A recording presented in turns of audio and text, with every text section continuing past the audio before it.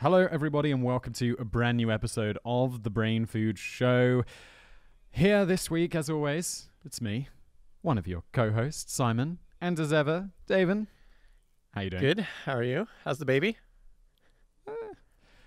Good. Yeah. Yeah. Yeah. Um, first, what, like seven weeks old now? So still loud Still alive? At points. That's the key Um, thing, you know. Yeah. So far, so good. Yeah. Yeah, it it does surprise me like, oh, babies can die when they're young. Yeah. So you, you have all these things like a breathing monitor and I don't know, I'll take her out for a walk in the pram or whatever. Yeah. And it'd be like, You still alive? Yeah. Yep. Totally. I don't know, I've got quite good at the old give it a little blow on the face. Yeah. And uh see They also does a little scrunch her face and you're like, Good. yeah. They also have uh, I used that worked really good. I can't even remember the name of it. Um, but it's like a little heart monitor thing you put on their feet and it gives you their oxygen and Oh. uh, and heart rate and it's like connected to your phone like with a, like an alarm and everything so you can just like look, oh yeah, oxygen level good, heart heart rate good. It's kind of cool. Oh, that's pretty clever. You know, I didn't end up getting that. Yeah. Because I was like, well, I've got the breathing monitor in the bed. Do I really need that? Yeah. And so I didn't get it. Yeah. But actually, that'd be quite clever because then you don't have to do the whole blowing on the face thing. It's just kind of fun too, just to look. You can see their heart rate like at any time and just pull out your phone or whatever. Yeah, it worked pretty well. Okay, cool. I'm going to add it to my list to buy one of those. I think it was relatively cheap. yeah, so- yeah, it was. Uh, okay. Oh, Owlet. That's what it was. Al Owlet or something like that. Yeah. Al Alet. Yeah. It sounds like a Middle Eastern building. Yeah, yeah. Um, cool. Uh, like the Burj Al Khalifa or whatever it's called. The Al Alet, the Burj Al Yeah. I could be being quite offensive. Is this offensive? Am I being racially insensitive again? Um, so yeah, no, that's all going well. I, I have in my notes here briefly mentioned the contest. So Yeah, shall I do yes, that? so then we can uh, give the people what they want. Yes. Okay. Uh, yeah, this is the Brain Food Show, obviously. If wherever you're listening to this, if you're watching it on YouTube, well, step number one, why not listen to it as a podcast for your own convenience? It's way better there. And then once you're doing that, sorry, It's way better on the podcast form. way better. You don't have to look at our stupid faces. Uh, and once you've started listening to it as a podcast, go leave it a review on iTunes or uh, Stitcher or uh, any of these other podcast apps that I don't use. And, you know, let us know how we're doing. And if you do, we are, when it gets to a thousand reviews on the American iTunes store, we're going to go through and pick someone at random, but not just from that store, from all of the iTunes stores. Wait, so if you're like British and you're thinking, well, that's a bit unfair, Simon, that sounds a bit racist to me. Um, you're discriminating against British people. Yeah. I'll be like, well, that's okay because you're included too. Yeah. You can uh, leave your review. We'll compile them all. We'll choose someone at random to win a thousand dollar Amazon gift card. If that's not a good reason to go and leave us a review, doesn't have to be a good review, although it would be uncomfortable, like we always say. If it's like, congratulations, one star winner Well, who hates our podcast. we would never actually have to give it to them though, because if you think about it, the one star person's not going to keep listening. So when we announce the contest winner, they're never going to hear it. And so at a certain point, we'll just be like, well, you know, the one star person never responded, so now we're going to pick someone else. you know. We're gonna get people now just hate listening to our podcast on purpose. Yeah. it's like I hate it, but I have to listen. Yeah. So, uh, should we move into some actual facts? Yep. And stuff. I mean, the facts about baby heart monitors and stuff was great. yeah. But yeah. uh, No, handy. I mean, like I really stuff. liked that uh, that little device. But yes, so quick fact today we're gonna look. How's that for a quick fact? Yeah, we're gonna look at the the woman, the first woman to ever cast a political vote in Chicago, one Kitty Smith. And what is interesting about her, besides of course she was the first, was that she also cast her vote with her feet. And so why her feet? So she actually lost both her arms as a child, and she basically just um, burned them really badly on a kitchen stove. And you think, how could you burn your arms so badly that they have to amputate them? Um, and so for a long time, it was rumored and still kind of rumored that her father did it, like he just like held her arms against the hot stove because he was alcoholic and extremely abusive. But uh, and and the severe Yeah, no kidding. yeah, the severity of her burns was kind of because mostly, I mean, if you're going to fall against the stove or touch it with your arm, you're just going to jerk away. So why didn't she do that? Why was she just like seemingly holding them against there to burn them so badly they need amputated? But Kitty herself denied this uh, when she was an adult. She said in her own words, My father was a drinking man, and he was in the habit of sending his children to a neighbouring saloon for liquor, though I was sent more often than any of the others. I remember tasting of the liquor I carried and thinking it was always beer. In November 1891, and on the afternoon of Thanksgiving Day, my father and I were alone in the house. My brothers, uh, being at play out of doors, and in going about the house, I found a bottle filled with what I afterwards knew must have been whiskey. Being but a child, I picked up the bottle and drank freely from it. Its effect was almost immediate, and I grew weak and stupefied. My father. I love that word, stupefied. It's what I'm going to start. When I get drunk from now on, I'm just going to say that I'm in a state of stupefaction rather than, you know. Yeah, yeah. It's like, how much did you have to drink? Uh, I'm not drunk. I'm stupefied. Sorry. My father was in an adjoining room and called me to go and put some wood on the kitchen fire, and I called back that I was sick and could not go, but he insisted, and I obeyed. I had taken the lid from the stove when, from the combined effect of the heat and the liquor, my whole being gave way, and I sank onto the open stove unconscious. I must have lain there some time, for the physicians and surgeons said the bones of my hands and arms were amputated three inches from the shoulders. Good lord. Yeah. That's no joke. Yeah. I was I've never been that drunk. I shouldn't make fun. I was burned on the neck and on the chest, but those burns were not serious. We lived at this time at 548 Park Avenue, and neighbors claimed that my father was also intoxicated and that he held me on the stove until my arms were burned, and then and that they heard my screaming. The Humane Society of Illinois took the matter and had my father placed under arrest. After a trial in a justice court, he was held to the grand jury, and on the final trial in the spring of 1892, he was acquitted for lack of evidence. Yes. That is, dude, when you started this off and you were like, why did she cast her vote with her feet? Yeah. Kind of almost upbeat. I'm like, oh, it's going to be entertaining. And then it turns out to be the most horrific thing ever. No, it is, and it's really sad because there's this picture of her as a little girl that she has her arms, and I didn't include this in this, but like she she's like talking about this picture. It's like one of her most cherished possessions because it's the only picture, the only like picture she has of her with her arms, and she just like really loves. You know, seeing her little arms there, and she didn't, you know, didn't have them later. So after this got worse for her because after she loses her arms, very shortly after, her father just waived all rights to her and gave her up to the Children's Home Society of Illinois.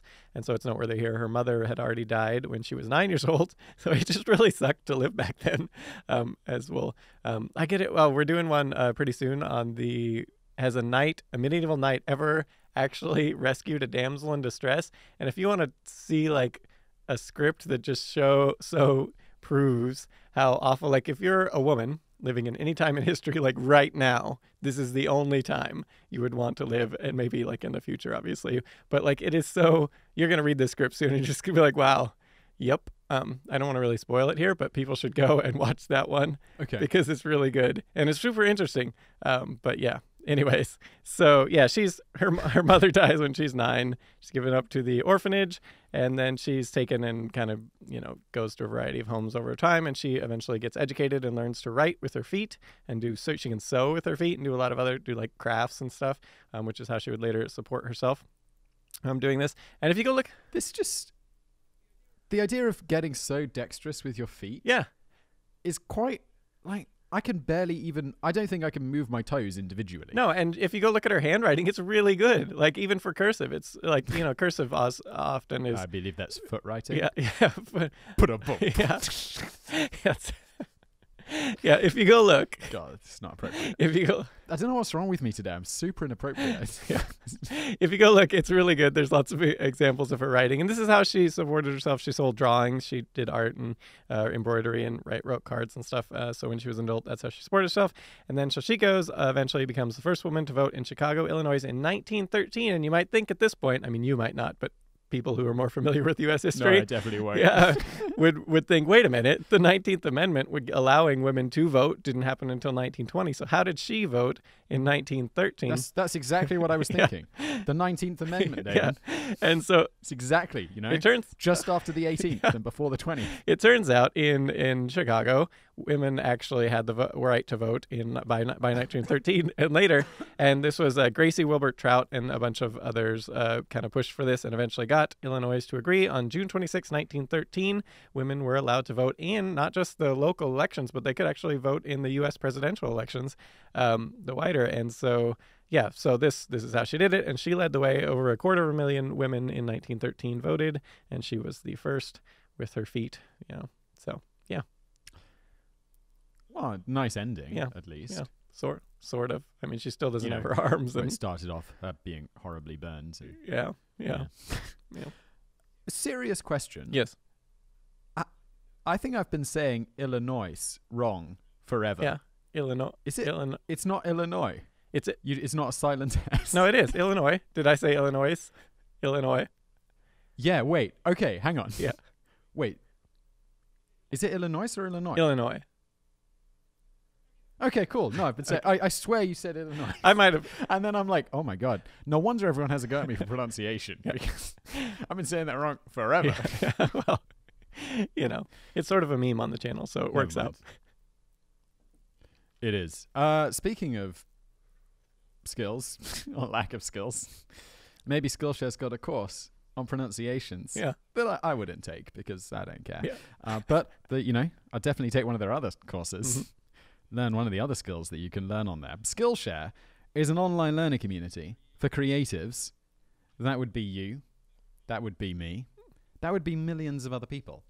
And they all come together on this beautiful platform that is known as Skillshare to improve their skills together, to become, well, if not more creative. I don't know, can you learn to become more creative? I don't know, maybe you can. Maybe there's a course on Skillshare about learning how to become more creative. I totally know, think didn't I that up, so totally think probably- you can learn to become more creative. It's just practice, like anything, right? Yeah. Like uh, like oh, is it, uh, Okay. James Altucher's got a big spiel on that where he does where he does the um the practice like every morning or whatever whenever he does it where he'll just write like ideas just like and it doesn't matter the craziest stupid ideas but then when you just do that all the time you just start coming up with actual good ones sometimes you know and you get better at coming up with good ideas and not just all stupid and yeah i totally think uh, with all that yeah Okay, well, there I am being sarcastic, but you can probably learn about creativity Yeah. on Skillshare. I'm betting it's on there. I'd look it up right now if it wasn't so disruptive to the ad. Yeah. um, but yeah, there's lots of stuff that you can try on there. Whether you're a beginner, a pro, a dabbler, a master, these were the four ones they said for me. You know, it's in the it's in the little ad copy we get, and I'm like, couldn't we just say everybody would learn something from Skillshare? I believe if you're a beginner to a master, that's got to be everyone in between, right? yeah pretty much So I think that you know what that means.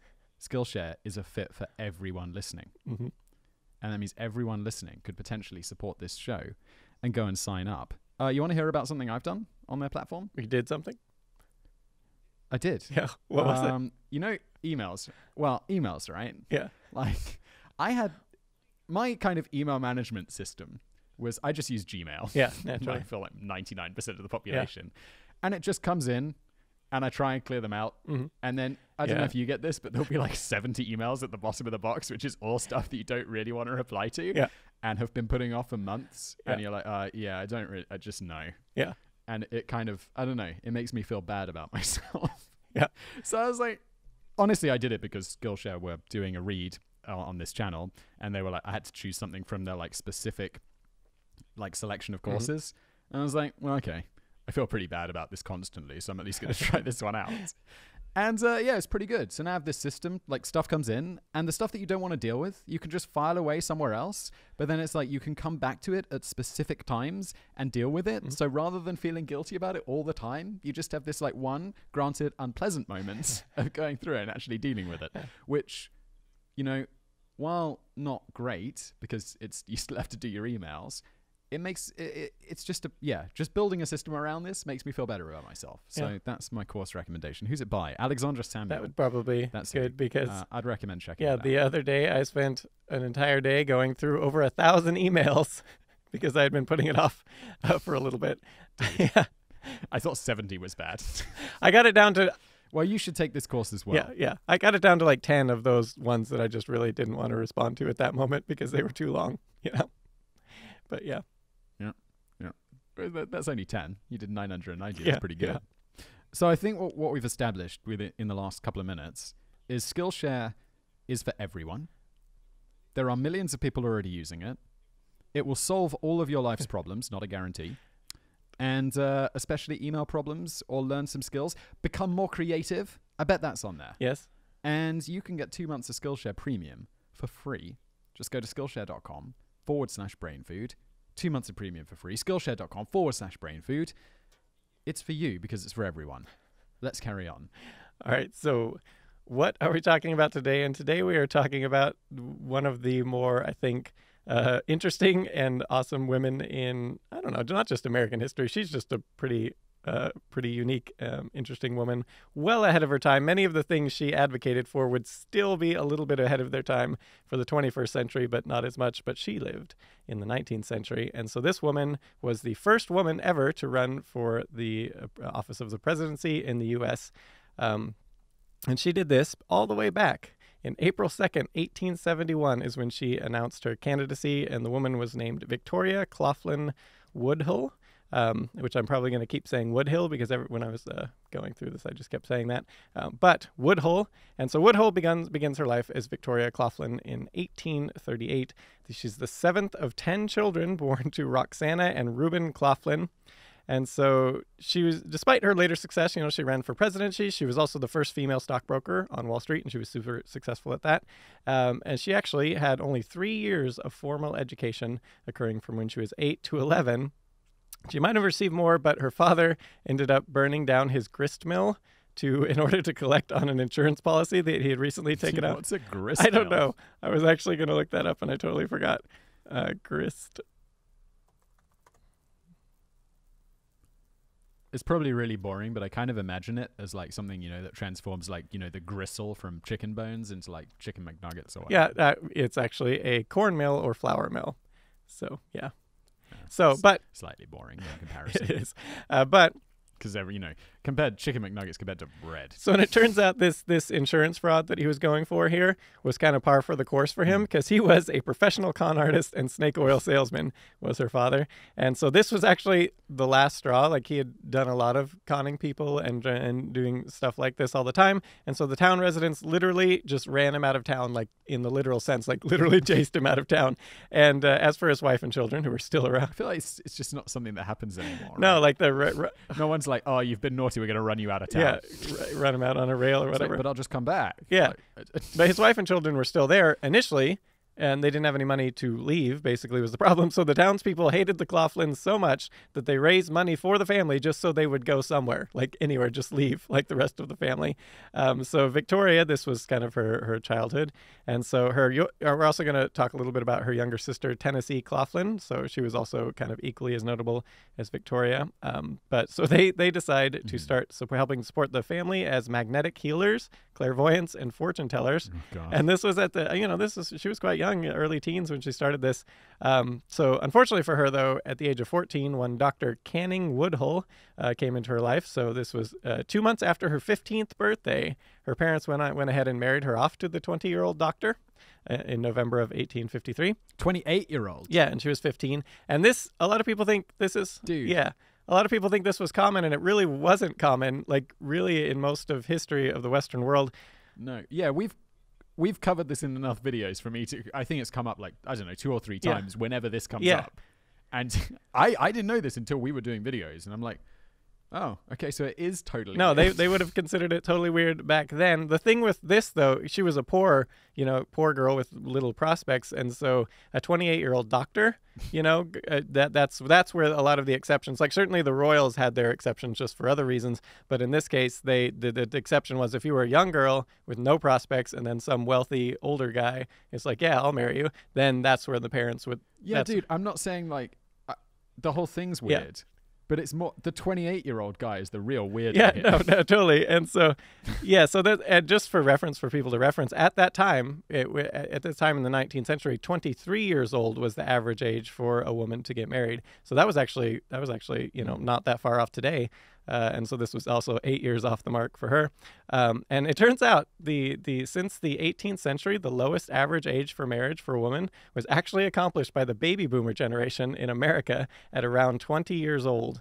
Uh, was the lowest, and that, not coincidentally, probably is the same group that had the highest divorce divorce rates as well. Um, so, and they've been in decline ever since the um, the peak of the divorce rates in the 1980s. So, um, yeah, and so to date, also for reference, the, the average for a woman is 26 year old for first marriage and 28 for men. But going back to Victoria in any event, so she's a young teen woman. She gets married off to this doctor, um, and uh, and basically just because you know there's a bright future there, he's a doctor, right? Um, oh, I did want to do a quick aside.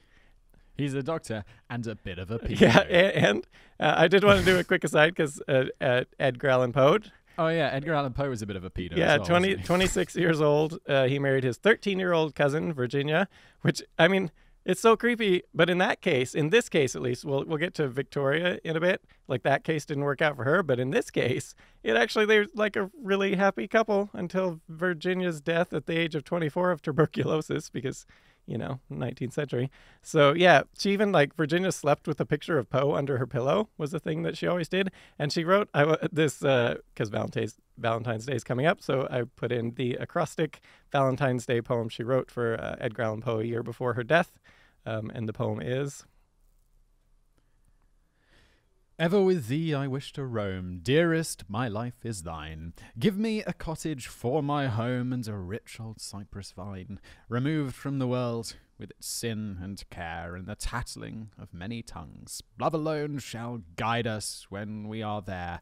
Love shall heal my weakened lungs, and oh, the tranquil hours we'll spend, never wishing that others may see. Perfect ease we'll enjoy, without thinking to lend ourselves to the world and its glee. Ever peaceful and blissful will be. And the, I mean, that's actually not a bad poem, but it's also a little more clever for people who can see it. Is if you look at the first letter of every line, it ends up uh, spelling Edgar Allan Poe. So, in any event, yeah, going back. To, Is this so? The just a quick question. The acrostic part of this is the Edgar Allan Yes, Poe yes. bit, like down the yeah, left, right? yeah. Because and but it also rhymes. It's Yeah. I I quite enjoy this. No, poem. it's a, it's but as a kid, Yeah. As I was just gonna say, as a kid, you know, when you're asked to write a poem in English class and you can choose what type of poem, I'd always choose the acrostic type of poem because then you don't have to make it rhyme. You could just choose any word and just start the sentence with that letter and you're done. Yeah. Whereas, you know, actually making poems that rhyme is a bit more yeah. complicated. Well, her husband was Edgar Allan Poe, you know, so it probably helped. And she mm. was 23 and dying at the time, so you know, laying in bedridden. So she probably had a good amount of time to just you know work on it. Right. I'm not saying I couldn't make it rhyme. I'm just saying it's, e- it's less easy. Yeah, so going back to Victoria, though, her marriage did not work out well at all. Her new husband was an alcoholic and a womanizer.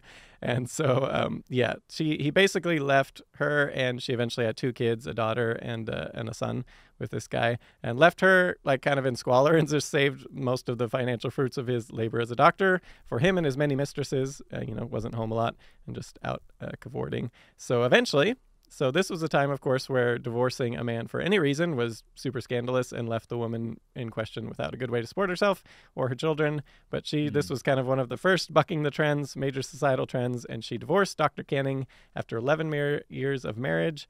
And uh, yeah, and interesting though, despite the fact that she uh, despised her ex-husband for whatever reason, she chose to keep his surname. For uh, even she got married two more times and still kept the Woodhull surname the whole time. For who she she never said why or not docu- documented why. So the first of her additional marriages was two years after her divorce. She married Civil War veteran Colonel James Blood of Missouri, which eh, should take that name. Right, this is the great. This is James Bond. Yeah, level, right? Level name. Like Yeah, we've got to defeat Colonel Blood. and it totally way cooler than Woodhull. Uh, she should have totally gone with that one. Yeah. But uh, so he actually, Blood was super encouraging of his wife's free thinking and independence, and so help her fight for equal rights, regardless of sex or race, and all the other things we're going to get to that she did. And they also moved to New York City uh, with uh, her sister, Tennessee. They all kind of went there in 1868. Dude, it's weird. Dr. Woodhull's the bad guy. Colonel Blood is the right i know right totally uh, and yeah he seemed like a, a good guy but uh, so yeah so new york it worked out really well for victorian tennessee so they're still you know doing the thing where they're you know fortune tellers and all this and and talking to the dead working as mediums and stuff and and you know peddling various snake oil type things like their father had done before. But it was during this that they end up meeting cornelius vanderbilt vanderbilt the extremely wealthy Cornelius Vanderbilt. And so he was super interested in spiritualism and wanted to connect with his dead mother. And so he was using the the girls for for this purpose. And uh, he also hated doctors, so he really liked their method of healing and whatnot as well. So they became quite close. And it's also thought that Tennessee actually became a serious love interest of Vanderbilt's. Um, but he was super in, uh, uh, impressed with the with the two ladies, and so he actually invested heavily in the sisters in their founding of Woodhill, Claflin and Company Bankers and Brokers, which was a stock brokerage firm and opened in early 1870, and it made them the first female stockbrokers on Wall Street. Um, This is so strange, though. Like, what do you do? Uh, I'm really impressed with your magnetic healing. We'd like to start a stock brokerage. Yeah, and your and your complete like almost con artist nature. But I mean, maybe that was it. It was like con artist, Wall Street's for you. you know, like maybe that was it. yeah, pretty really good. Um, but yeah, so the business actually thrived. Like He's like, you almost know where immediately. girls would really make a killing. yeah, seriously, taking other people's money. yeah. on Wall Street. So that their their firm actually became super super successful, and they got nicknamed the Queens of Finance in the press. Uh, at which at the, around the same time, Hetty Green came along, investing her own fortune uh, rather than working as a stockbroker, and her she she got the nickname the Witch of Wall Street. So they they were doing. Uh, you know, a little better in the public eye. Did we do a podcast about her? Uh, or a uh, video? or video, yeah, she's super interesting. Um, if this one wasn't so long already, I probably would have uh, put in some interesting stuff around her because she was quite a colorful woman. I don't think we did a podcast. I think we might have something? mentioned her son or something at some Hmm. It point. might have been a video. I can never remember. It's just familiar to me, and I can't imagine a reason why it would be other. Yeah, than we've t- we finally reached the point. I wonder when it would happen when I when I can no longer like before. Like I've got like five thousand articles. We got like fifteen hundred videos. We got like sixty or seventy podcasts, and I used to be able to to keep it in my head like what we've done where, and now it's gone. Like I come across stuff all the time, and I'm like, have we done that on YouTube yet, or like you know the podcast? I I had one the other day. I've I've got a, a new channel called Business Blaze, Yeah. which subscribe if you're listening. And I talk about something. It's like I think I know this. I'm not really sure. And then someone's like, Simon, of course you know about it. You did an entire video about it like two years ago. Oh yeah, I guess I do. You're like that was three thousand videos ago, so you know you can't keep Yeah. it all. it is a bit like I can't possibly keep up. Yeah, I've, at least have not lost. I can always tell when I have covered something somewhere. You know, I just no longer sure where. Yeah, it's but it's that vague recollection, right? It's like ah, this is from like too familiar to have just been something I read on the internet. Yeah, you yeah. know? So yeah, they're they're were quite successful in their little stock brokerage thing almost right away. So they were able to actually use funds from that to found then the Woodhull and Claflin's weekly newspaper, uh, the two sisters. So they focused a lot on like a lot of controversial ideas like promoting sex education, which was a big no-no at their time. Ooh, steady Yeah, on, yeah. Uh, publishing also the the The only the only option is abstinence. yeah yeah exactly, or yeah Wait, isn't that something you still struggle with today? I swear I read about this on like Reddit or whatever, where Yeah. it's, you know, some American school has banned education. you know, you can't mention condoms. Yeah. It's like that seems like a terrible idea. Well, and at the time in the 19th century, it wouldn't even be the option is not abstinence because you have to do whatever your husband uh, wants, basically, or as we'll get into here, this was kind of a, part of her platform. So she also committed the triple taboo of the day of speaking out not just in support of equal rights and fair treatment regardless of race, but also regardless of sexual orientation or sex. Um, so this was this did not make her her publication popular um, in in a lot of circle, circles. So a bit controversial. Oh, and she also advocated for the legalization of prostitution, which which at the time there were over ten thousand of them in New York, uh, and so it was something that like in in in her view she points out is so society completely rejects it as a thing like legally the the women are shunned and all that and yet almost the entirety of the male half of the population is frequenting their services uh, while at the same time passing laws making it illegal. Um, so yeah yes, well, hypocrisy is not a new. she was if you really i, I included uh, some of her writings here and some of the transcripts of her speeches but like if people want to go be entertained go read woodhull's speeches and writings because she's hilarious. And i think probably having a con artist of a father probably helped you know like growing up in that you know she's she was a very talented speaker and uh, and and um, debater basically. Um, so yeah, so she also used the weekly eventually to further her own candidacy for the office of the presidency, but she didn't actually announce it there. She announced it in the New York Herald on April 2nd, 1871, as mentioned. In her letter to the publication, she wrote, I claim the right to speak for the unenfranchised women of the country and denounce myself as a candidate for the presidency. Yeah, and so it is noteworthy here. She wasn't actually old enough to be the president. Uh, she was uh, a little bit about six months off.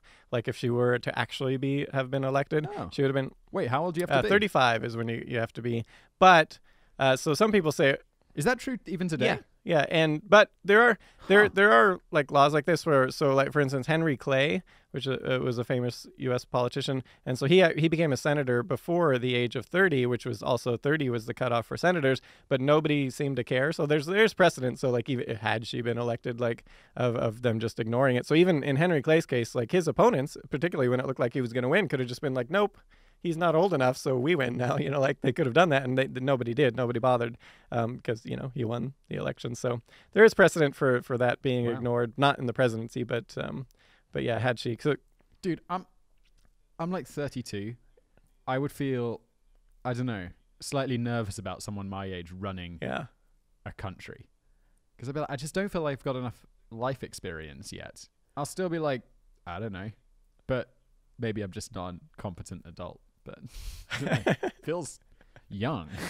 it does to be. I don't think we have such a restriction in the UK, but I don't think anyone without grey hair, you know, or old enough to have grey hair would really get elected. Yeah, it'd probably be a- an interesting, more interesting presidency because particularly younger people tend to be more impulsive about things, you know, a little bit than the than well, in theory, Yeah. in theory anyway, not not everyone, um, but yeah. So Woodhull's presidential campaign platform, as you might have guessed from from the things we've talked about her so far, was sh- women's suffrage. She was huge on that. She was also huge on shortening of the workday and work week, which for reference here in the late eight in 1890, so um, a couple decades later. So there was a survey done by the federal government in the U.S. that the average worker It's got to be working high, tradesmen, yeah, 90 to 100 hours per week, which if you do the math is over because they work six days a week. So if you do the math, that's over 16 hours a day was the average. Um, Yeah. yeah, that's This is I don't know. I make we both work I don't know, we both work I assume very long Yeah, hours. well, it's like 3 a.m. or 2 a.m. right now, so and I'm still working. So Right, exactly. And I mean it's it's 10:21 a.m. here, so it's, no, it's a very normal time to be working. Like if I wasn't working at 10:20 on a Monday morning, it'd be like, "What's Yeah, up?" Um but people often, you know, comment or like send me emails just like, "Wow, you know, you must work really long weeks. How do you not burn out?" And I'm like, "Dude, until like 100 years ago, yeah, the hours I work, people would be like, "Whoa, you're pretty lazy." exactly. Because the factories, speaking of Britain and stuff, the Factories Act of 1847 made it so that children they limited them to working only 60 hours a week as a as a thing to just you know Which is still a long. Yeah. that's, that's 10 a hour days, week. six days a week for children. six days a week. Children. yeah. So yeah, that yeah we're like like putting labels on jars like Charles Dickens. yeah. So uh, compared to workers back then, we're we're like featherweights. Um, so yeah, the we became soft. exactly.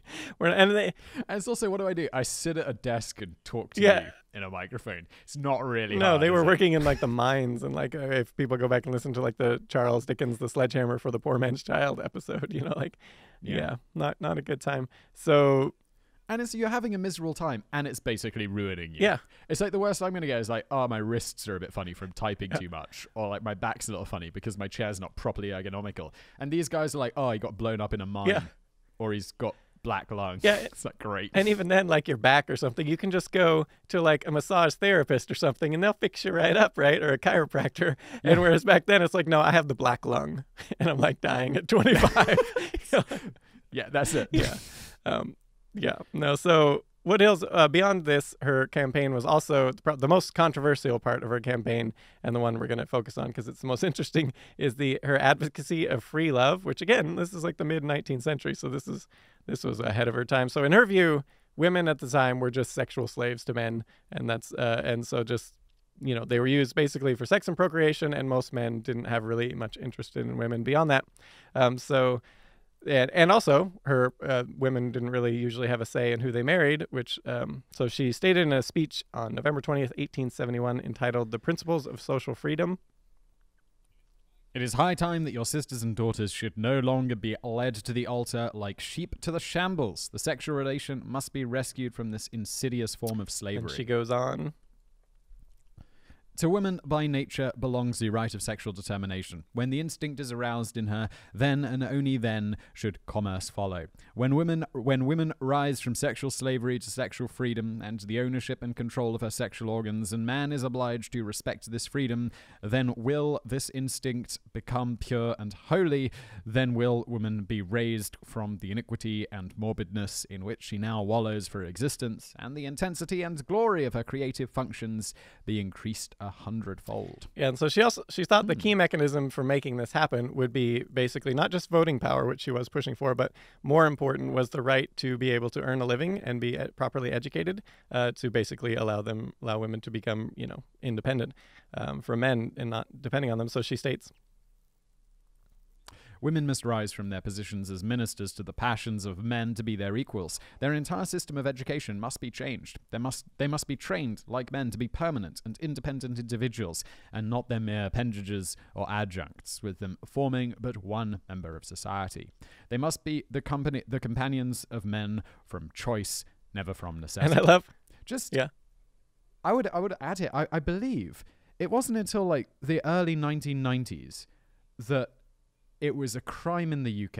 A, a man couldn't rape his wife, and I think they changed that law in the 1990s, which sounds absurd, but I think that's true. Well, and I'd need to look and you up. go back to even like the 1970s or 1980s you watch like movies where where it's like especially sports ones and stuff like that and the yeah it's just like that like the amount of like sexism in them is is you know the, a lot of them don't age well basically in such a short span really but um so i also i liked I, I included here her foolproof plan to just make this happen, even beyond voting. Like, forget voting, forget actual legal rights to anything. She quips uh, the foolproof plan to making all of this happen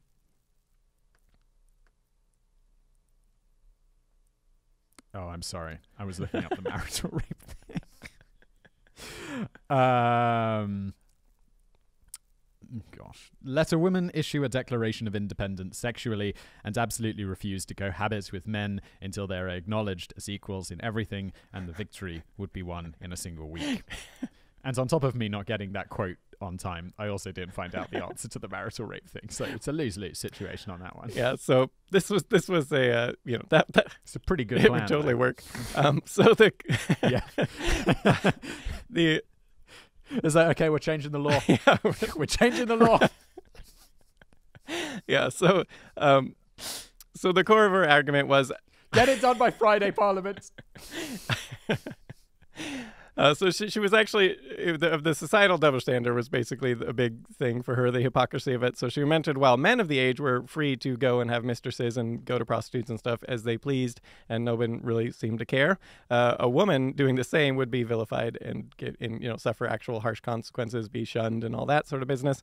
And so, um, yeah, so she she herself was actually a monogamist, uh, interestingly, but she was just advocated. She basically her whole point of all this, not just with like sexual stuff, was just everyone should be able to do what people want and just live the lives they want to live, and no one should be able to judge them Well- for that. That was kind of her her Maybe even less than that. It shouldn't be that. It, she doesn't seem to be saying people should be able to do whatever they want. Just that women should be held to the same standards as men. yeah. Well, that right. no, uh, because she's not saying you should. We would. I. You know, polyamory should be a thing. She's just saying, look, if men could do it, they either shouldn't or we should be able to as well. Yeah, but but it was like her thing is like if you're not hurting anyone, why can't you just do like if you're a woman and you want to go work, why can't you go work? Like if you if you're a woman and you want to go do whatever, why why can't you? And she she talks about this a lot later. We'll get Yeah. into one of uh, so Harriet Beecher Stowe's brother. We're going to talk about uh, a, a little tiff she got in with him about this, and it's quite funny. There, she's got a funny quote where she's like, "I'm not condemning him. I'm I'm applauding him, but you know I want that ability too." But anyways, we'll get to that in a bit. Yeah. Um, so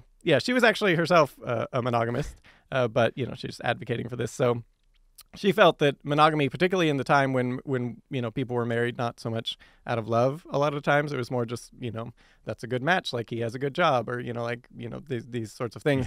Like He's a 28 year old doctor. You're a 13 year old poor girl. The match made in. yeah, so for her, she's most marriages were full of miseries. So men or women and men should just be able to go and do what they pleased outside of their marriage on that way. So, uh, yeah, so this was this was a major part of her presidential platform, and even today, that would be quite the controversial platform to run on, uh, let alone in the mid 19th century. So she wanted basically women to have the right to, you know, have children, marry, divorce, and sleep with who they will whenever they wanted, and all that good stuff. And so she states.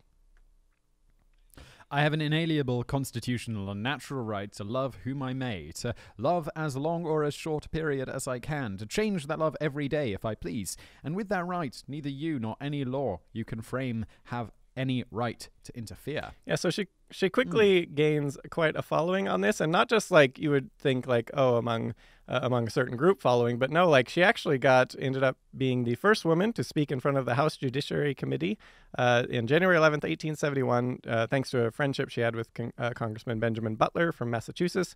He got her the platform, and she spoke out and testifying in front of that body, that governing body, and she was on this case, she was actually arguing that women already had the legal right to vote, and she made a really good argument. So, thanks to the 14th and 15th Amendments to the U.S. Constitution, which, among other things, state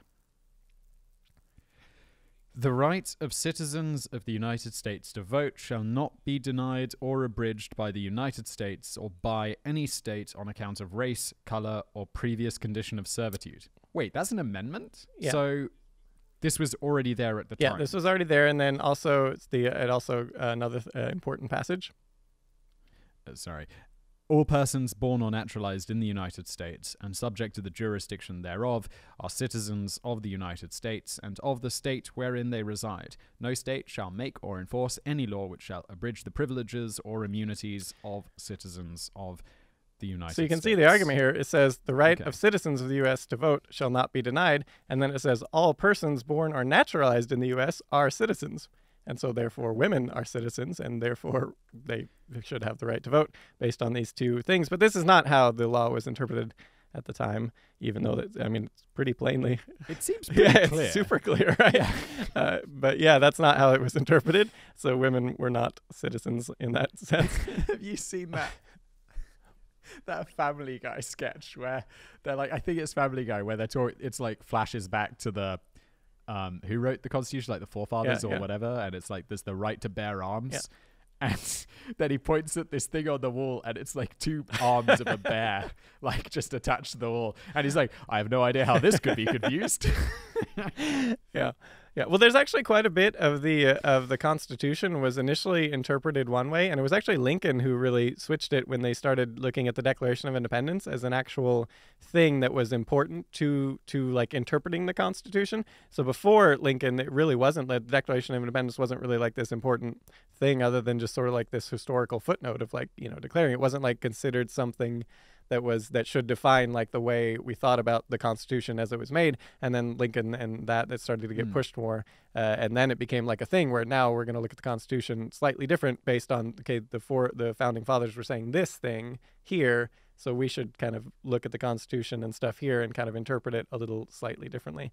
Um, so that was like a, a thing like you can uh, depending on how you look at the wording of things, you can really uh, change their meaning quite a bit. So, but that was her argument. It's a really good argument. Mhm. Uh, nevertheless, um, they, they, they didn't really go for it. But she went on. She also went on talking about women, the plight of women at the time in the American in the Americas, and looking at uh, it was basically, in her view, much like Americans before the American Revolution, particularly regards with taxation without representation. So she ends up giving. Um, a speech, her famous, one of her more famous speeches, Lincoln Hall speech on February 16th, 1871. She states, I and others of my sex find ourselves controlled by a form of government in the inauguration of which we had no voice, and in whose administration we are denied the right to participate, though we are a large part of the people of this country. Was George III's rule, which he endeavoured to exercise over our fathers, less clearly an assumed role than is this to which we are subjected? He exercised it over them with their consent and against their without their consent and against their wish and will, and naturally they rebelled. Do men of the United States assume and exercise any less arbitrary rule over us than that was? No, not one whit the less. To be sure, his cabinet were few, while there are many, but the principle is the same. In both cases, the inherent elemental right to self government is equally overridden by the assumption of power. But the authority King George's Parliament exercised was even more consistent than this, is which they assume. Uh, Ugh. But the authority King George's Parliament exercised was even more consistent than this, is which they assume and exercise. His government made no pretension to emanation from the people. When our fathers launched taxation without representation is tyranny against King George, were they consistent? Certainly. Were they justified? Yes. Men fashioned a government based on their own enunciation of principles that taxation without representation is tyranny, and that all just government exists by the consent of the governed. Proceeding upon these axioms, they formed a constitution declaring all persons to be citizens, that one of the rights of a citizen is the right to vote, and that no power within the nation shall either make or enforce laws interfering with the citizens' rights. And yet men deny women the first and greatest of all the rights of citizenship, the right to vote. Yeah. She felt. It's a bit weird reading that as a British man. like, because clearly it's very American and women Yeah, centric. yeah, yeah, but um, yeah, she fails to convince the committee, but she's she's you know she's writing a very well circulated paper. She's do, Mhm. she's you know giving these speeches to to large crowds and everything. So she did start to draw the uh, the uh, attention of a lot of the major key figures in the women's suffrage movement at the time. So like Susan B. Anthony, she actually postponed the start of the National Women's Suffrage Association convention just so she could go watch uh, Woodhull speak. Um, and so the the problem with Woodhull is she was so out there on a lot of things uh, uh, ahead of her time on a lot. She was like too much. Like sure they wanted the right to vote, but like she was taking it too far, and so they had real strong reservations of sort of making her part of the official movement. Um, but they ended up her and it was particularly like her views on sex and divorce and like that Mhm. sort of business. And so like uh, Elizabeth Cady Stanton actually though she initially not not much later they like later the women's suffrage movement really hated Woodhull. Um, but so initially at least she felt that this should be overlooked. In a letter she dated uh, it was dated April fifteenth, eighteen seventy one. She states. If all they say is true, Mrs. Woodhull is better than nine tenths of our father's husband's sons, and women's purity amounts to little in the regeneration of the race as long as man is vile. Now, if our good men will only trouble themselves as much about the purity of their own sex as they do about ours, it will make them it will make one moral code for men and women. We shall have a nobler type of manhood and womanhood in another generation than the world has yet seen. When our soldiers went to fight the battles of freedom of the late war, did they stop to inquire into the ant- at- antecedents of everybody by their side? The war would never have been finished if they had. Now, although I believe Mrs. Woodhull to be a grand woman, I should be glad to have her work for her own enfranchisement if she were not. I think she would become a better woman by thus working and by assuming all the rights, privileges, and amenities of an American citizen. I thought that was kind of an interesting argument because uh, Elizabeth Cady Stanton is she's sort of saying uh, in the first place she's saying men if would men would be more like more pure like women so she was sort of embracing that that thing Mhm. but men should be more like that whereas Woodhull's doing the exact opposite it's like women should be able to do what the men are doing uh, so it was kind of the Yeah. polar opposite there and then of course she was just like you know you know Woodhull's got a good platform and whatnot so we should have her join because even though she's not you know up to our standards necessarily because this was the other thing is a lot of these women were were like middle class and upper class, like and quite a lot of wealthy women on the women's suffrage movement leading it. And then you have Woodhull, who's this uneducated daughter of a con artist, and herself for a con artist. So they she was really looked down upon for that reason too, just her her, her class or whatever. She was she was a poor woman, you know, from a poor standing that had you know made something of herself. Uh, so I don't know. Um, She's a bit too radical. yeah, yeah. Um, so yeah, so she was her star was riding the, rising though, and so she ended up creating the Equal Rights Party, which subsequently nominated her as their presidential candidate, naturally, in May of 1872, and ratified ra- ratified the nomination in June. Shocker. Yeah, I know. Uh, they did not. It'd be awkward if they nominated someone Yeah, else. Yeah, they did actually nominate for her vice president candidate was American um, Frederick Douglass. Which are have, are you familiar with Frederick Douglass at all? Yeah, didn't we do a video yeah, maybe I don't know at some point. Oh, maybe I did a biographics about Fred. Yeah, probably. I, I don't know if we've done it on YouTube. I've covered him, but I don't know if we ever made that one to YouTube. But yeah, he was a pretty awesome guy. If you ever read his his uh, autobiography, he is really good. Um, yeah, it's one of those ones that they make you read in school that's actually interesting. You know, like most of them are kind of crap. Yeah, that would have been Yeah, nice. this one. I ended up reading bloody Ethan Frome. Yeah. I was going to shoot myself. Yeah, no, Fred. Did we talk about this before? Oh No. my god! Like the books I had to read in school. Yeah. yeah. Yeah, yeah, no, Fred. And I mean, it's not like there's not lots of great British Yeah, books. there's tons. I just had to read Ethan Frome. Yeah, no, Frederick Douglass. We by Edith we got to read Frederick Douglass, and he was good. He it was a really super interesting um, autobiography of his. Um, so yeah, I'm surprised they haven't made like a really good movie about like him. But in any event, so unfortunately for them though, when they did nominate Frederick Douglass as their vice president, he did not respond to the nomination, and he actually uh, ended up campaigning for Ulysses S. Grant instead. Um, so her hope, her hope with this party was that by by having Douglass, if he would have agreed to be her vice presidential candidate, it would unite the both the the women's suffrages and the people fighting for um, Black American rights into one group. Um, So Mhm. that would that would help uh, on the platform. So. Yeah, he ended up not responding though, and campaigned for Ulysses S. Grant instead. I feel like I feel like if I was in the position, I'd at least be like, "Thanks, but no Yeah. thanks." Like I'd write them a letter. yeah, yeah, something. But yeah, no, not nothing. She was a little too out there for for that. So um, yeah, and she did know. To be clear here, she knew she had no chance of being elected. But that was not the point of any of this. This was the point to have a national platform in which to spread the ideas um, that she was she was advocating for. Um, so yeah, her her Mhm. campaign though we're gonna get now we're gonna get to the uh, so the famed advocate of evolution and well as uh, advocate for Black and Chinese American rights, clergyman Henry Ward Beecher, who his sister most people have heard of his his sister Harriet Beecher Stowe, and she's much more famous now. A lot of people today haven't heard of Henry Ward Beecher, but in his time he was super famous across the country. Uh, he knew he was a, he was a clergyman minister.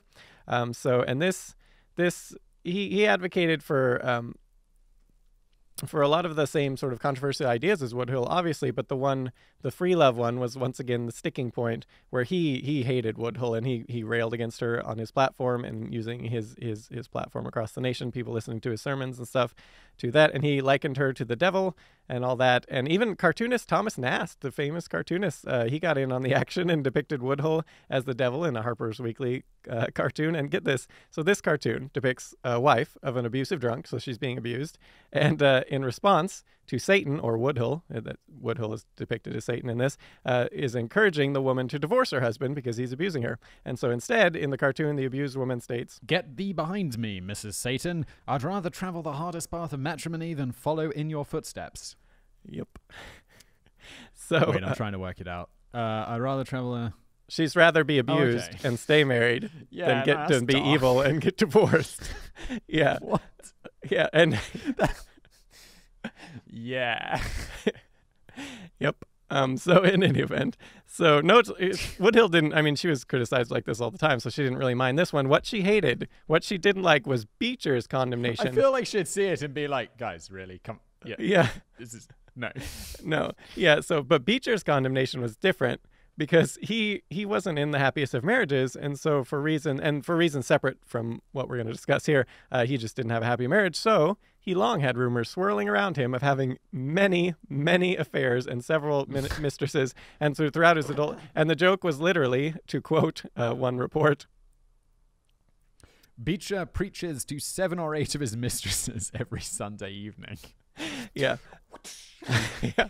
So she she naturally he, him condemning her for her advocating free love when she was in a monogamous relationship herself and just was advocating for free love and he was The out there. hypocrisy angle again, isn't Yeah. it? Um so she ends up learning from so oh uh, on this uh, Beecher's editor and patron his his own patron Henry Bowen Henry Bowen's wife would later confess to Henry Bowen that she even had an affair with Beecher.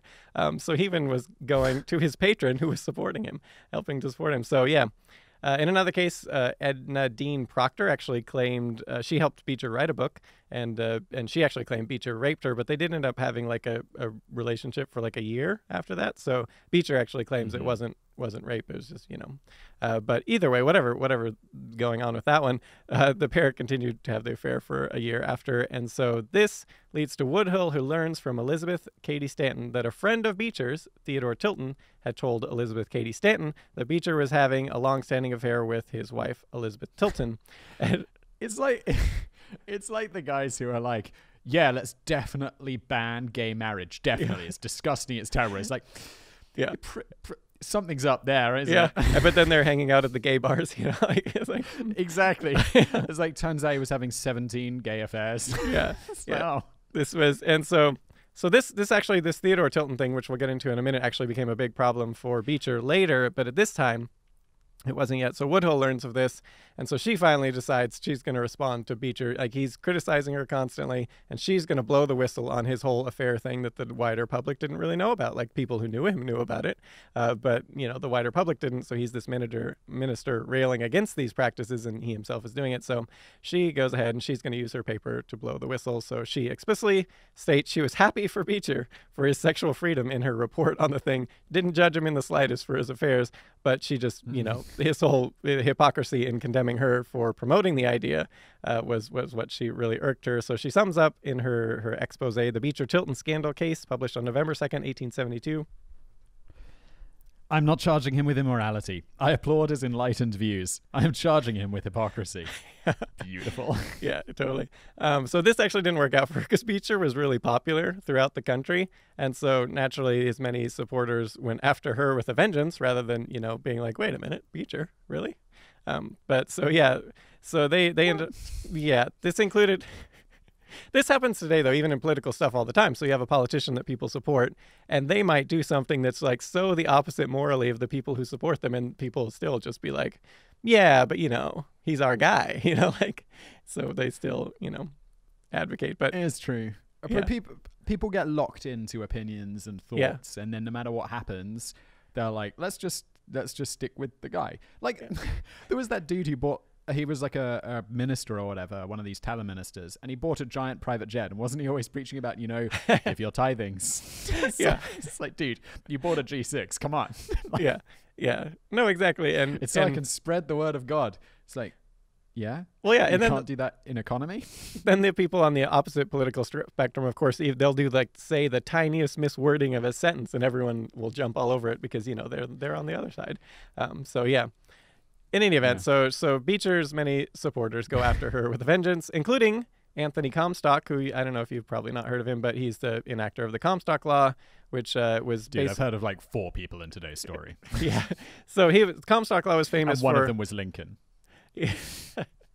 yeah, so Comstock Law was famous for uh, the. It was basically just uh, a thing that so you couldn't basically send any obscenity in the U.S. mail. So this included uh, talking about like birth control. This computed like even if you were writing a letter to your wife and said something sexual, like technically this was illegal. Um, so like any obscenity, you, it was illegal to send it through the U.S. mail.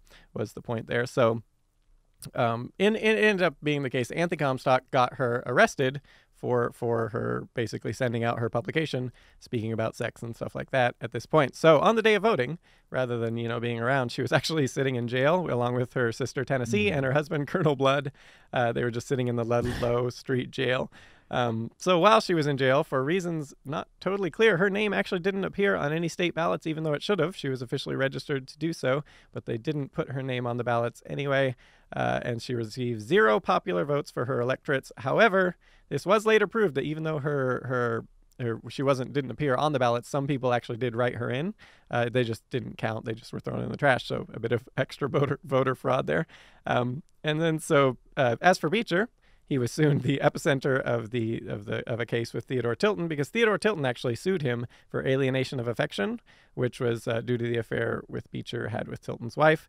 And this actually ended up in a hung jury. And once again, Beecher Beecher he came out of it mostly unscathed, while as Tilton, him Tilton got excommunicated from the Plymouth Church for charging Beecher with having an affair with his wife and alienating affections. This Beecher guy is like yeah. Teflon preacher. Yeah, he was popular. You know, he was like a political figure basically, and so you know, uh, that's kind of what happens. Uh, so it's kind of impressive. Like he's a dick, but it's like yeah, but yeah, he he also actually, I like, mean, like he did advocate for black and uh, like the black rights, Asian Asian American rights, like the this sort of stuff. Like he did, you know, it wasn't all bad, but it's just you know this one area was uh, was he he was a, you know, it's more just the hypocrisy of it. Yeah, yeah, like, exactly.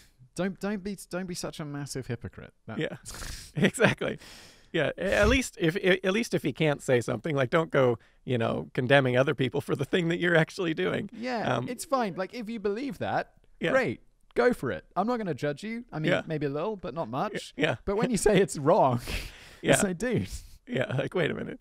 But yeah so it was this actually was a thing though that helped Woodhull temporarily because the media did not like that she got arrested for basically speaking her mind um, and whatnot. And so the this this uh, was mounted to censorship of the media, and journalists across the nation didn't didn't really care for her arrest. And so she was ended up she got released from jail, and five months after that she was cleared of all charges. But the damage to her to herself was done. So the the public revelation uh, so thanks, she, you know, her railing against Beecher and, and revealing his hypocrisy, which a lot of people didn't like.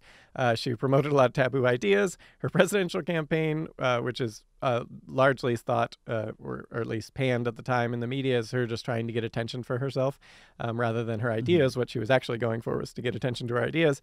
But so yeah, she did manage to make an enemy of an awful lot of people, including at this point alienating the women's suffrage movement to boot. And so again, this was you know they didn't they didn't like her, uh, and she had kind of gone too far in their opinion, and so they turned on her. And this this uh, Susan B. Anthony, she publicly described Woodhull uh, and her sister as lewd and indecent. And then when they wrote the, the history of the women's suffrage movement, they completely removed her, even though Woodhull was one of the major figures in the early going. Uh, they so that she's not Woodhull's not really in there. So yeah, not exactly a controversial. Uh, uh, yeah. In any event. Yeah. And then got a bit shafted. yes, she did. And then Harriet Beecher Stowe, you know, famed author, you know, sister of, yeah. of, of, Beecher. So she obviously went against Woodhull as well, and uh, she called her an impudent witch and a vile jailbird. And then she even in her in her story, my wife and I, she kind of goes after her. Yeah, she goes after her in the story as well. So the little quote from that story. Uh, well, said I, why not a woman president, as well as a woman queen of England? because, said she, because, said he, look at the difference. The woman queen in England comes to it quietly. She is born to it, and there is no fuss about it. But whoever is set to, whoever, but who is, whoever is set up to be president of the United States is just set up to have his character torn off from his back in shreds, and to be mauled, pummeled, and covered with dirt by every filthy paper all over the country. And no woman that was not willing to be dragged through every kennel and slopped into every dirty pail of water like an old mop would ever consent to run as a candidate. Why it's an ordeal that kills a man, and what sort of brazen tramp of a woman would it be that could stand it and come oh my, and come out of it without being killed? Wow, N- not much faith in her own gender there, huh? Mm-hmm. Uh, continues. Would it be any kind of woman that we should w- would it be any kind of woman that we should want to see at the head of our government? I tell you, it's quite another thing to be president of a democratic republic from what it is to be hereditary queen. Good for you, Papa, said Eva, clapping her hands. Why, how you go on. I never did hear such eloquence. No, Ida, set your mind at rest. You shan't be run for President of the United States. You are a great deal too good for that. Yeah, so then. That's, uh, yeah. That's intense. Also, I, I think it was who was it Oprah who was saying like one of the things about like running for president is you can be beloved.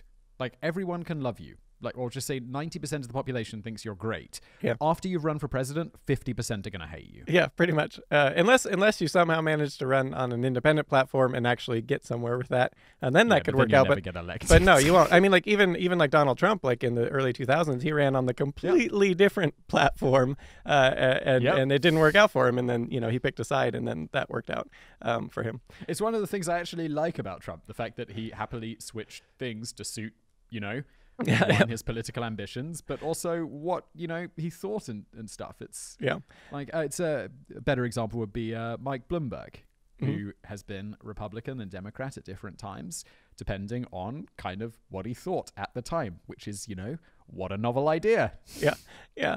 Um, so uh, she actually goes on, Beecher Stowe, in the 25th chapter. She she more directly vilifies um, vilifies Woodhull herself. She she has a character named Miss Audacia Dangyereyes, and what's notable here is Woodhull reportedly had she was known for her striking blue eyes, and so this was you know she was definitely referring to her. And she uh, and this this Miss Audacia Dangyereyes also happened to run a paper that advocated to quote against Christianity, marriage, the family state, and all human laws and standing order. Yikes. yeah, so that was also. Her... I feel like Miss Danger Eyes and Colonel Blood. Yeah. You know, yeah, they could be involved. She definitely should. was not fictional. She definitely should have taken the name Blood because that's just way cooler. But um, yeah, yeah, so noteworthy here though, it turns out Beecher had another sister named Isabella, and she was a huge supporter of Woodhull, and uh, and was also uh, a supporter of Woodhull's condemnation of her brother's hypocrisy concerning all the affairs he was having and whatnot. So. And this this actually led because of Isabella, Isabella's really wide. Uh, she was outspoken about her support of Woodhull. Mm. Uh, it was the rumor was started that uh, and widely reported that Woodhull had used witchcraft to bewitch Isabella. and then uh, here yeah. we go. Yeah, and then it was also speculated that Isabella and Woodhull were were lovers and all that, but there's actually no hard evidence of that. But whatever, whatever. Um, so after the election, though, this was so Woodhull she her su- suffered like her social life, like her family her family was getting continually harassed. She got booted out of her apartment, and she couldn't find anyone that would rent her a place to stay. Uh, so that was a bit of a mm-hmm. problem, and uh, a lot of her her business dealings and stuff went down the tubes uh, directly after, and um, largely she was boycotted basically quite a bit, and then she ends up. Uh, so she basically ends up losing most everything, and she's fed up. She's finally fed up. the The women's suffrage movement won't, you know, they've turned their back on her, so she's not even being really effective there. Her publications boycotted, and you know all this stuff. So she finally just like, fine, whatever um, I'm going to uh, I'm going to just move to London. And so she ends up divorcing Colonel Blood, uh, and then she takes her and her sister decide they're going to move to London after the death of Cornelius Vanderbilt in 1877. And so it actually is rumored that after his death, part of the reason they were able to do this um, after the death and not before was because William Vanderbilt, uh, apparently, rumor has it, gave them some extra money so that they would just not talk about her his father, like his father's private life, because the two women were quite intimately aware, and it was thought that Tennessee was actually a, a lover of Cornelius Vanderbilt as well. So it's you know rumored that he just gave him money, and that gave him the money then to move to to London. Um, so that's what they do. And so, uh, briefly, just wanted to mention Tennessee. I, I, this was already so long, so I didn't want to go too much into her life. But she was just as much of like an interesting person as her sister. So she, uh, besides all the other stuff which she was helping her sister do the whole time, she also ran for Congress, and she Tennessee also was uh, fought for women's right to serve in the military, and she was actually herself named a colonel of a, of the so-called the Colored National Guard Regiment. Um, and then uh-huh. after she moved to London, she married the Viscount of Montserrat Sir Francis Cook. Uh, so then she, you know, happily married to him. Uh, also, he was uh, made a baronet, I guess, at some point. She was by Queen Victoria. So in any event, he died in 1901, and she herself died in 1923. So going back to Woodhull though, once she went to England, she just started her lecturing tour again. That was how she made money. And uh, she was actually giving a lecture on the human body, the temple of God, was the title of this particular uh, lecture. And when she drew the eye mm. of one John Biddulph Martin, he was a super wealthy banker. And uh, six years later, they were married, and it was their third husband. And uh, yeah, she ended up uh, staying married to him until his death 18 years later in 1901 as well. Both sisters lost their husband in 1901. Um, but um, yeah, she ended hmm. up serving in like World War One in the Red Cross and all that, even though she was quite old, which is so crazy to think because she was born in like you know the early-ish 19th century, and she's all serving in in in World yeah. War One. It's, it's like such a different era. You know, she's like living through the Civil War and all this, and then World War One seems so so much more modern. Um, but yeah, and then about the same amount of time now to now. Yeah, yeah, yeah. Um, yeah so yeah. Oh, she also uh, briefly she went back to the U.S. in 1884 and 1892 to once again run for president. And this, well, the 1884 one was notable because it was the first time two women vied for the presidency in the U.S.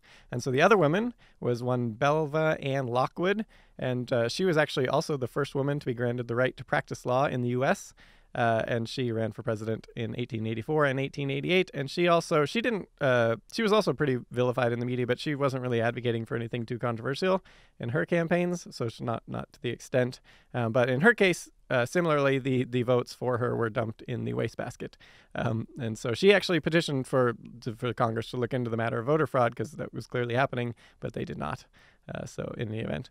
Um, Yeah, on the side, so there seems to be voter fraud. Nah, yeah. we're just not going to look into that. yeah, like, not a big deal. Um, so thanks yeah, for bringing this to us atten- our attention. Yeah. So, yeah. So after her third husband's death, she ended up retiring to uh, Worcestershire. I don't know. You you go ahead and tell me where that. Bre- Bredon's Norton. Do you know that place? No. nope. Uh, so she lived to the ripe old age of 88, dying in 1927, and uh, she has a great quote summing up her life's work. She states, while others prayed for the good time coming, I worked for it. Yeah, That's awesome. That's a great one. It's totally that's super good. But yeah, if you read, go read. Like people should go read a lot of her writing and her transcripts of her speeches because she was a really, uh, really kind of an awesome person. I think. Um, but yeah, so I had a comment the other day. I can't remember which channel it was on, but someone says like, "Oh, I was really praying that you would cover this part of the story, and we didn't." And so just commented, "You didn't pray hard enough." that's good. I found myself quite amusing. yeah. Um, so yeah, that's that's the episode today. If people want to go read more about Woodhull, they should go read her works. Uh, they're great. And uh, yeah, we are gonna reintroduce because we we just kind of forgot that we used to do this, and then I was listening to old episodes, uh, and I was like, hey, yeah, we used to do. yeah, I was like, hey, we used to do at the end, like where we would talk, like people would comment on the forum and reviews and stuff. You know, people would give feedback about something we said, and we, that used to be like a thing at the end of the episodes. And I totally forgot about that because we took like a three or four month break, I think, at one point, and then we just forgot. Um, so I thought we should Yeah, re- reintroduce we should that. have notes. Yeah. of what we actually used to do. yeah. Um, so yeah, on that note, the, for the first one, the so we were talking in the the, the episode with the the guy who invented pineapple pizza. Uh, so we were talking about why why oh, did, yeah. why did he immigrate to Canada instead of the U.S.? That just seems you know weird. Like didn't most people immigrate to the U.S.? And so commenter uh, Zenton on the forum states, I live in Canada, and my dad's immigrated from here, from Denmark, and my dad's family immigrated here from Denmark in the late 1950s, in part because there was a massive advertisement campaign from the Canadian government in Europe to get people to move here. Wow. Yeah. Can you imagine just like advertising around the country? Move to Canada. yeah. Apparently, it's still kind of a thing. Um, I guess uh, people still pushing to get people to move to Canada, which Canada is pretty great. Um, you know, it's I mean it's cold in a lot of it, but you know, it's it's nice. People are nice, other than other than when they're behind the wheel, as we've discussed before. Yeah, I just didn't realize countries advertise to get immigrants. It seems like such a strange notion in Yeah. know, 2020 to be like, because everyone seems to be shut the borders, don't let them in. Well, but like Canada has so much, you know, land and stuff, and they could use That's like true. more people, more people paying taxes, and you know that sort of business. And it's nice. It's really nice in Canada. It's like beautiful. Yeah. Oh, yeah. I guess they've got to have some sort of requirements, right? Because Oh yeah, yeah. you must be able to go get a job and, and stuff. But Yeah. yeah, Yeah. like, yeah, okay. Um, I see some reviews here. That's another thing we used to do. Yeah, yeah. Do you want to read some of them? Should we? Should we read some reviews? Yeah. Did, did you purposefully choose the longest ones you could find? Let me try. I just well, I didn't want to choose the ones that just said like uh, "great show," Great you know, because there's, n- there's nothing to you know nothing there. So I just I just kind of randomly picked ones that were uh, you know actually said something, you know, gave some feedback or whatever. Did you purposefully pick all five stars, or is that just how it was? No, that's just how it was. There wasn't any in the in recent. I only I didn't scroll back more than like a couple months worth of things, but yeah, they were. I think they were all five stars naturally. You didn't just sort by one star, just to you know hate yourself. No, no, no. Um, Uh, okay, here we go. Witty ba- banter for history geeks. Five stars by Freaky Fred. I watch Simon Whistler almost every day after work on YouTube. Well, thanks, Fred. His shows are concise and well written. You can't thank me for that, though. well, Business Blaze, right? Um, that one. that's true, but Yeah. that is the least concise. that's true. That's funny. it's like if you like concise, don't you know? I well, I think if you like business if you like concise, probably don't read anything I wrote. you know, like that's true as well. yeah. Um, In fact, I don't know. Geographics and Biographics are good like 20, 25 minutes long. I don't know if I'm known for concise anymore. well, I, th- I do think the information density is high. So it, while it's not, That's true. Well, There's it's not much long. fluff. It's long. Yeah, we we put in a lot. We pack in pack in the facts. So If YouTube, if the YouTube show went, if the YouTube show went to a bar, pub, and grabbed a few beers, pints with a friend, mate. I like this British to English translation for me. uh, then you'd get this podcast. The material is true to the Whistlerian form, but without the sense of urgency or time restraint of the YouTube shows. My main compl- my main complaint is that stories overlap heavily with the videos already out on YouTube, so it's a bit repetitive. A shopping cart, for example. The podcast can sound like a rough draft of these videos. However, the stories these two gents dig up are still interesting and new to everyone except the most dedicated Whistlerites. Humor is on point. Love the show, even if I've heard some of the stories before. The funny thing is, I'd say, yeah, that's that's yeah, that's fair. Go on. Uh, the the the funny thing though is it's kind of the opposite. Whereas the the video is the rough draft, and this is the much that's more. true. This is this this fleshed has a, out. this is fleshed out a lot more. We got cut out things, um, but yes, that is that is totally a thing, and it's trying, tr- attempting to get away where we're just all the like every episode will just be completely brand new here, but we just don't quite have the time yet. But soon, ish, maybe. I'm working on it at the moment uh, to to get Excellent. that to to make that happen. Uh, it's not quite there yet, though, so people just have to. But in the end of the day, we've done like 5,000 articles and 1,500 videos. So, I mean, do, has everyone actually heard everything we've covered? Really? You got to be pretty hardcore. You would. That would be like the number one fan. So, yeah. Shall I do another one? Yes. Interesting history presented well. Five stars by non-zero. The brain food shown show follows the adventures of British guy and nervous guy. Why? Why? This is. strike me as nervous. No, when when I, when I host videos, people are always like, uh, "Relax," and I'm like, "I'm relaxed." Uh, there's the camera. Like, what do I have to be nervous about here? Yeah. Absolutely nothing. Like, I can edit out anything stupid or whatever. Like, even on this podcast, like, I don't I don't get that at all. And then it was funny because I used to wear like the sweatshirts when we were trying to push that right, and then I switched to a nice yeah. a nice shirt, and it was funny because it was literally. One day I recorded that. The next day I recorded it with a nice shirt, and everyone was just so like, confident. Everyone, it was exactly what happened. Everyone's like, you, "Your presenting is improved. You must be like practicing so much." I changed my shirt. Like it was literally the next day. like that's it. but but yeah, I don't know. I don't know. Maybe I should, to impress. maybe I should get like one of those like coaches who like how to. I don't know. I don't feel nervous, but this is the thing people say. No, if anything, I would say that I, I don't know. I think rambling and carrying on is often that, and I would say I ramble and carry on more. But anyway, Yeah. uh, as they explore interesting facts about history, British guy will sometimes get distracted. and that's definitely true. With an amusing anecdote, that's possibly true. But nervous guy does his best to keep the show on topic. The beauty of the show is its ability to turn a seemingly mundane topic and weave an entertaining narrative around it. British Guy's voice is pleasant to listen to, and I forgive his mispronunciation of foreign and sometimes non foreign words. Nervous Guy does great research and is the backbone of the show. The- I've spoken. The the funny thing about this is it's like kind of a compliment, but you know, it's like embedded a little bit. It's Like- like, a backhanded compliment. yeah, but also kind of funny. Um, but five stars, so you know. Um, yeah. I like it. I'll take it. yeah, I'll take it. Five stars buys you a lot of credit with me. Yeah. Um, oh, Jared seven seven nine. Ooh, what is this? Teaching on Skillshare because of you guys. Five stars. Oh yeah. Okay, I'm curious about this. I should have read these ahead of time. Long-time viewer of TIFO and the rest of Simon's lexicon of channels. Love the podcast, everything about it. Your sponsorship from Skillshare inspired me to join. Nice. And after looking through the content, I realized how worthwhile it would be to teach on the platform. I train businesses in nonverbal communication, body language, and found nothing in my field on the site. So there I will should be soon. I should hire this guy to make myself appear not nervous if he teaches nonverbal. well, clearly Yeah, I'm should- doing something. You should get him as a coach. Yeah, seriously. Or I should take his Skillshare, I guess. Like if that's what he's putting on there. Dude, do it. and this will be an even better plug than my email course. Yeah, yeah. Not my email course, my taking of someone else's email course. Yeah. Um, I want to thank you both for everything that you do and helping me find new ways to expand my business. The first class will be up in January. That's now. Yeah. I don't know if it'll be up now because it's mid January, but this is cool. Um, I'll be emailing you a free link to the class as another thank you. Hopefully, I can teach you guys something since you taught me so much. Well, thanks, Jared779. Yeah. We'll have to check That's that out. great.